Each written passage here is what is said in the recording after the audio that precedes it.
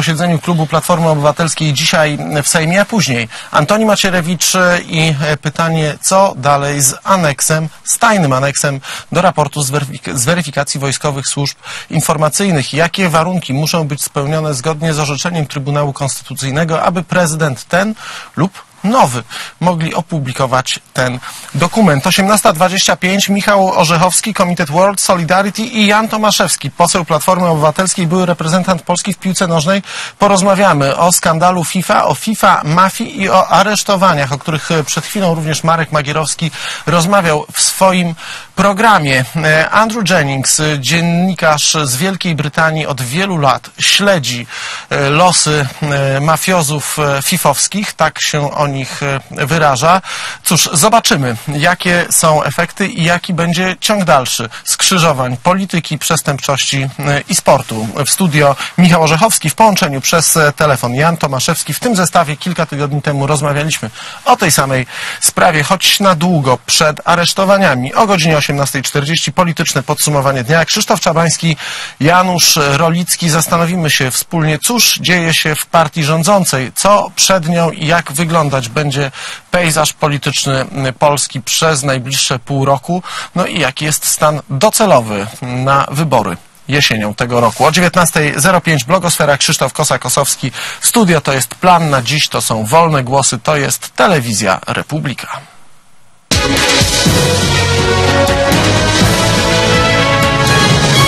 Państwo słyszeli, ale mogę powiedzieć tak, że przyjąłem zaproszenie klubu parlamentarnego Platformy Obywatelskiej z udziałem także kolegów z PSL-u, y, aby po pierwsze bardzo serdecznie podziękować za zaangażowanie w kampanię wyborczą, kampanię prezydencką. Y, Zaangażowanie, które było elementem napędzającym kampanię. Mam świadomość, że jest, y, wszyscy czujemy w, środowisku szeroko pojętym czujemy brzemię porażki politycznej, ale jestem przekonany, że też wszyscy czujemy ogromną odpowiedzialność, aby drogę polskiej wolności kontynuować i wygrać następną batalię polityczną, jaką będą wybory parlamentarne. Dlatego mówiłem o potrzebie utrzymania szerokiego frontu y, środowisk, które chcą y, bronić polskiego dorobku od minionych 26 lat i chcą, aby Polska szybciej, lepiej, mądrzej szła drogą, e, drogą i modernizacji, drogą proeuropejskich działań, drogą właśnie polskiej wolności. E, Chcę się czuć cząstką tego frontu, cząstką tego wspólnego działania w imię właśnie wspólnoty celu i wspólnoty drogi dotychczasowej. E, Ta droga mnie prowadziła e, z czasów walki o wolność, w czasach jeszcze komunistycznych, poprzez działania na rzecz tego, aby Polska była jak najlepsza po odzyskaniu wolności. Dla mnie to nie jest tylko i wyłącznie kwestia obrony mojej prezydentury, bo tą będą zawsze oceniali Polacy, ale to jest kwestia obrony, skutecznej obrony e, dorobku 26-lecia już Polski wolnej. W imię wspólnoty Panie prezydencie, celu wspólnoty drogi, drogi. Dzisiaj spotkałem się właśnie z klubem Platformy i z niektórymi kolegami Pomnik. Smoleński na. Z nami jest ten wielki kapitał, jaki stanowi 8 milionów, przeszło milionów obywateli, którzy chcieli oddać głos na kandydata, y, kandydata y, Polski obywatelskiej, Polski wolnej. To jest, do, jest się do czego odwoływać, jest czyje interesy i marzenia y, realizować. Na pewno będziemy wyciągać wnioski, bo to jest ważne. Sygnał był bardzo oczywisty, ten sygnał odebraliśmy dość boleśnie, więc w związku z tym no, zdrowy rozsądek nakazuje, żeby wyciągnąć wnioski z tej całej sytuacji. Mamy wyjazdowe posiedzenie klubu, to będzie we wtorek i to będzie posiedzenie, na którym bardzo dokładnie sobie wyjaśnimy pewne rzeczy, a potem zamkniemy dyskusję wewnątrz Platformy na ten temat, a rozpoczniemy dyskusję i tylko i wyłącznie mobilizację do następnych wyborów. Jaką rolę- zapytać o konsekwencje personalne. Będą jakieś czy nie? Wiecie, powiem wam szczerze, ja, ja znam tych, którzy chętnie by ścinali głowy teraz po, e, po przegranej. Nikt pewnie by się nie doszukiwał jakichkolwiek uchybień i ostatnią rzecz, jaką wymyślał, to o tym, żeby wyciągać jakieś konsekwencje, gdyby była wygrana. Natomiast dzisiaj niewątpliwie nie możemy przejść nad tym do porządku dziennego, e, ale nie po to, żeby dzisiaj ścinać głowy, żeby dzisiaj epatować opinię publiczną naszymi wewnętrznymi sprawami. To nie czas i nie pora. Dzisiaj trzeba czasu na taką mądrą refleksję i odpowiedzi na pytania, dlaczego tak się stało, ale nie w kwestii personalnej. Dlaczego nie trafiliśmy z tym programem, dlaczego Polacy odpowiedzieli tak, a nie inaczej. Jaka będzie rola Bronisława Komorowskiego gotowy może? w kampanii? Znaczy, ja bym się tak, słuchajcie Państwo, ja codziennie dostaję jakieś pytania. Te pytania mniej lub bardziej mnie zaskakują, ale e, żebyśmy się nawzajem nie trudzili, to poczekajcie Państwo, 20 czerwca będzie kongres programowy. Ja na wszystkie te wątpliwości i pytania odpowiem podczas tego kongresu. Jaka będzie rola na uroczystościach z udziałem prezydenta. Będę.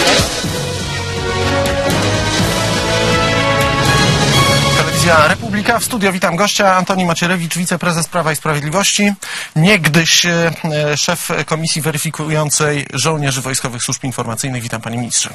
Dzień dobry Państwu, dzień dobry Panu. Panie ministrze, jakie warunki muszą zostać e, spełnione, aby e, prezydent, ktokolwiek będzie pełnił tę funkcję, bo może to zrobić i ten prezydent i prezydent elekt, kiedy obejmie swoje stanowisko, ujawnił tajny aneks z weryfikacji Wojskowych Służb Informacyjnych?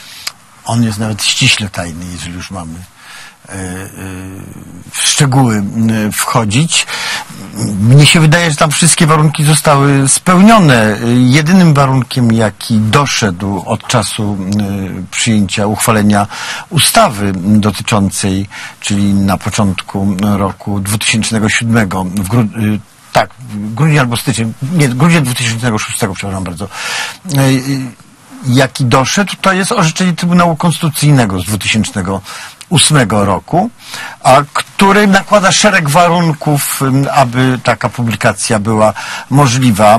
My staraliśmy się y, tych, te, te warunki spełnić, dlatego się przesunęło, przesunęła się publikacja aneksu aż ze względu na, na, y, na śmierć prezydenta y, Kaczyńskiego okazała się niemożliwa. Ale oczywiście prawnicy mm, powinni się nad tym jeszcze raz pochylić. To jest y, zawsze, zawsze przydatne. Muszą być spełnione warunki wyznaczone przez Trybunał Konstytucyjny w orzeczeniu z roku 2008.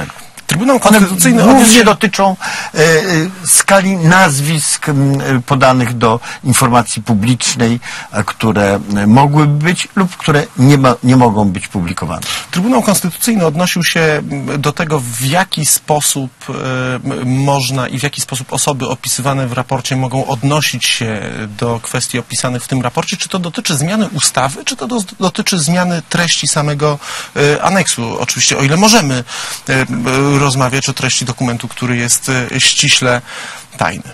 Chyba nie zrozumiałem Pana pytania, ale gdyby założyć, że ono mm, dotyczyło tego, y, jakie do czego, do, y, jakie są konsekwencje orzeczenia Trybunału Kon, Konstytucyjnego, to powiedziałbym tak, ym, one dotyczą przede wszystkim co do następnych aneksów, ponieważ ustawa nadal jest, y, y, nadal jest ważna, nadal obowiązuje, a ustawa zakłada, że y, raport może być uzupełniany o kolejne aneksy. E, Także ten aneks, który leży w sejfie, mam nadzieję, że leży, pana, pana e, prezydenta, nie musi być aneksem ostatnim. Ten obowiązek spada po, m, e, po e, zamknięciu komisji weryfikacyjnej e, na szefa służby kontrwywiadu wojskowego, gdyby założyć, że komisja likwidacyjna została rozwiązana. To nie jest do końca jasne, dlatego że warunki rozwiązujące nie zostały dopełnione m, ze strony premiera rządu. No, ale gdyby założyć, że ona, że ona już nie istnieje, to ten obowiązek spada na służbę kontrwywiadu wojskowego i ona może takie aneksy dalej, m, dalej y, publikować, przedstawiać panu prezydentowi do y, publikacji. I wtedy Gdyby taki aneks został następny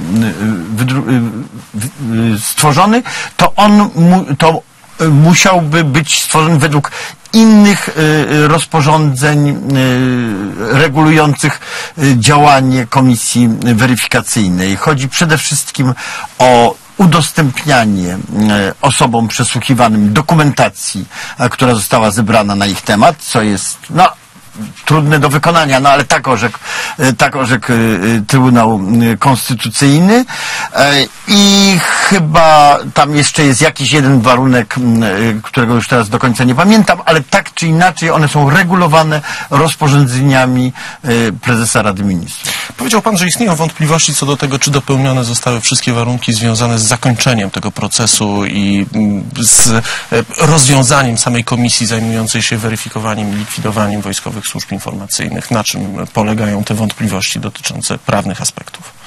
No, nie umożliwiono komisji weryfikacyjnej y, stworzenia y, co jest y, zawarte w ustawie, y, stworzenia y, pełnego sprawozdania z, ze, swojego, ze swojej działalności, a nie, nie umożliwiono, dlatego że zrabowano dokumentację, którą komisja weryfikacyjna, na której komisja wer- weryfikacyjna pracowała, jak wiadomo, z, w nocy z, y, z czerwca na lipiec, z ostatniego czerwca na, na, na początek lipca weszła, nad ranem dokładnie, weszli żołnierze, którzy bez y, jakiegokolwiek a, y, u- żadnych, jakichkolwiek uprawnień, nie, pozostawiając y, żadnego mm, poświadczenia swojego działania, etc., etc., po prostu zapakowali w worki y, ściśle tajną i wyjątkową zupełnie w skali Polski dokumentację i zabrali ją, wywożąc w niewiadomym kierunku, jak się później okazało, do służby kontrwywiadu wojskowego.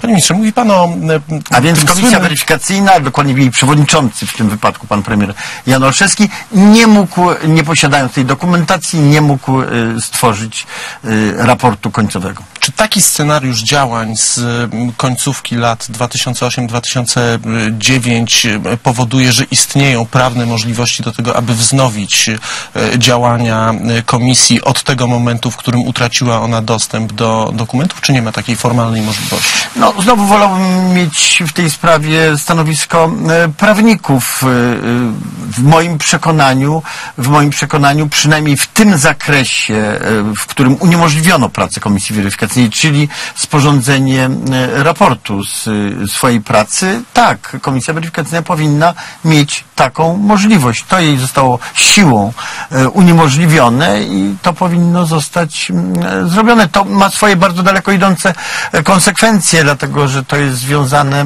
z y, tym, iż ustawodawstwo dotyczące Komisji y, Weryfikacyjnej było lex specialis, prawem wyjątkowym y, w polskim ustawodawstwie. Komisja Weryfikacyjna miała dostęp do każdej do, dokumentacji w jakikolwiek sposób związanej z działaniem e, służb wojskowych, zarówno komunistycznych, jak i e, postkomunistycznych.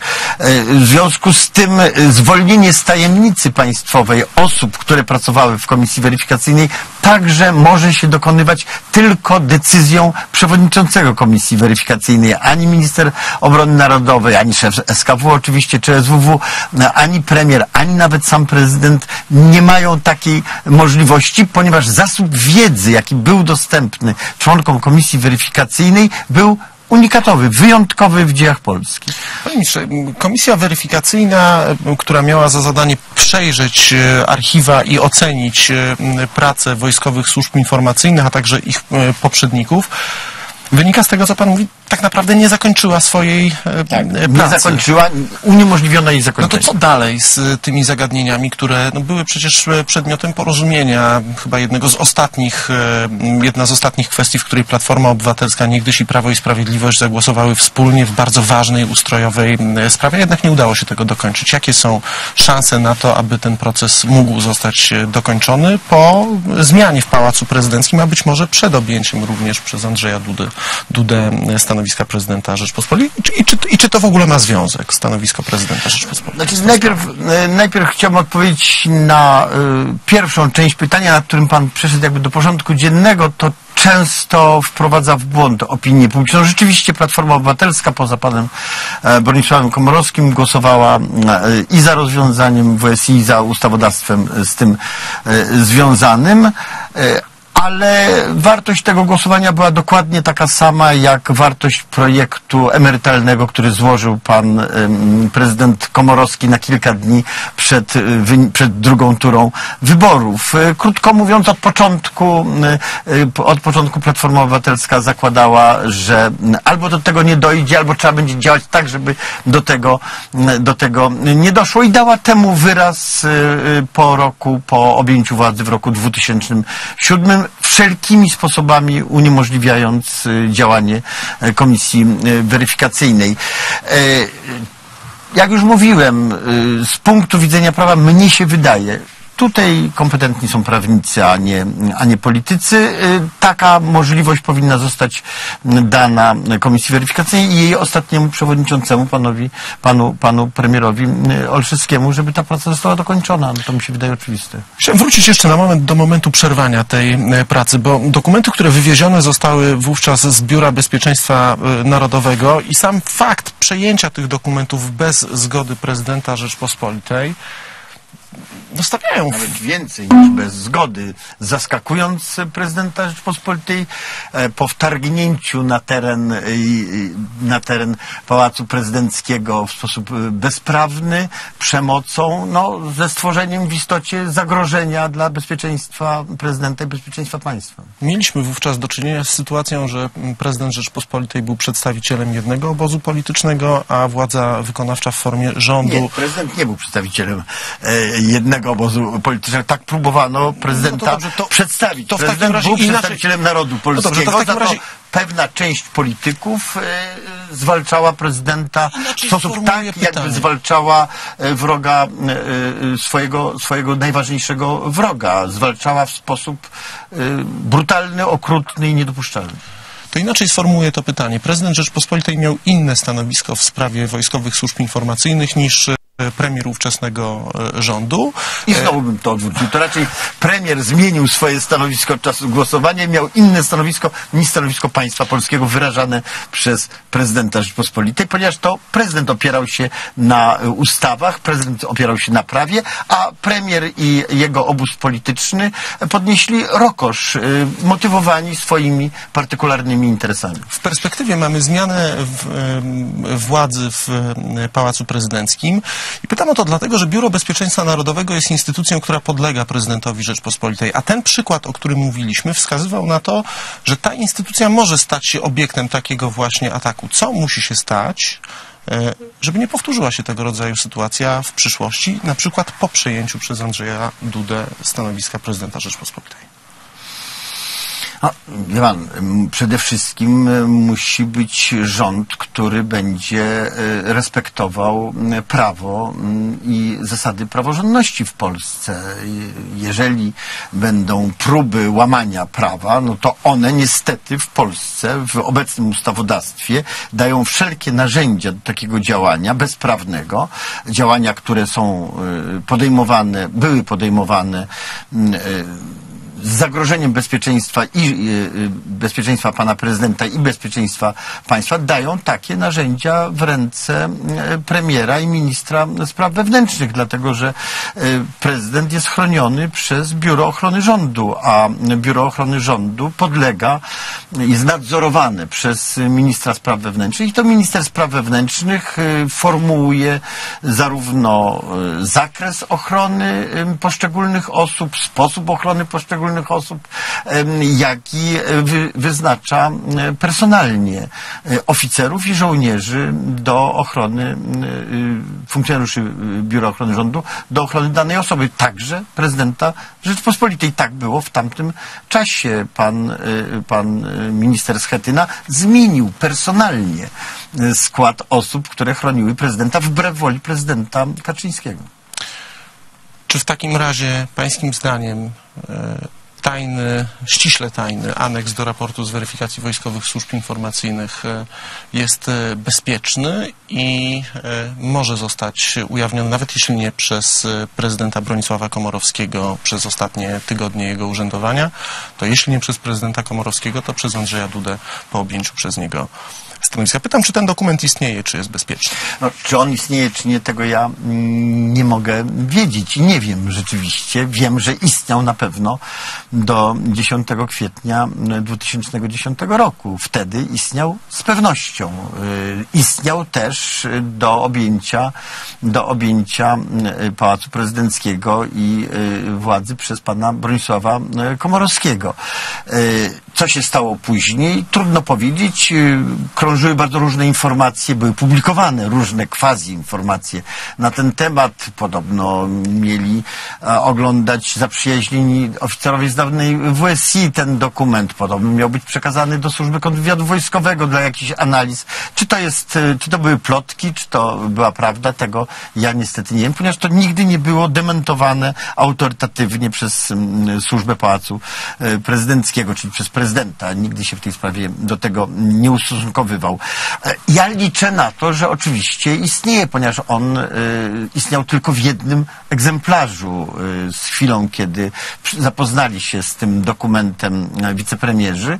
E, Zostały kopie, e, kopie e, poza prezydenckim egzemplarzem zostały zniszczone zgodnie z przepisami o informacji niejawnej i pozostał tylko egzemplarz pana prezydenta. W związku z tym od y, przejęcia władzy przez pana Komorowskiego istnieje już tylko jeden, y, jeden egzemplarz i miejmy nadzieję, że on istnieje. Gdyby się okazało, że tak nie jest, no to sankcje prawne na osoby odpowiedzialne za niedopełni- niedopełnienie obowiązków, niedopilnowanie bądź wręcz zniszczenie są bardzo surowe.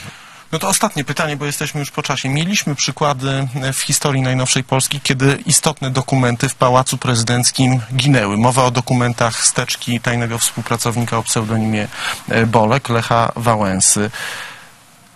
Ale nikt nigdy nie odpowiedział za to, co stało się z tymi dokumentami. Czy państwo polskie dysponuje narzędziami, aby ukarać ewentualne osoby, choćby za tamtą sprawę? No pytam oczywiście w kontekście ewentualnych e, informacji dotyczących aneksu.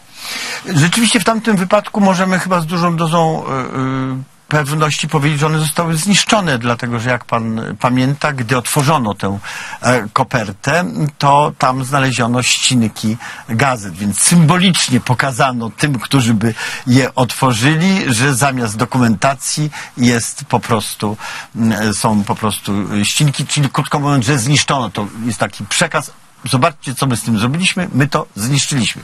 Jak jest naprawdę, czy zniszczono, czy ktoś ma to pod poduszką, tego ja oczywiście y, y, nie wiem. Y, Jakie mam państwo polskie narzędzia? No tak jak w wypadku każdego przestępstwa prokuratury i sąd. Y, W tamtym wypadku, jak wiadomo, y, prokuratura sprawę umorzyła w moim głębokim przekonaniu bezprawnie popełniając y, przestępstwo. Na to istnieją odpowiednie mechanizmy prawne, które każą takie postępowanie wszcząć, a winnych bezprawnego umorzenia ukarać. To samo byłoby w tym wypadku. Antoni Macierewicz był gościem telewizji Republika. Dziękuję bardzo za to spotkanie.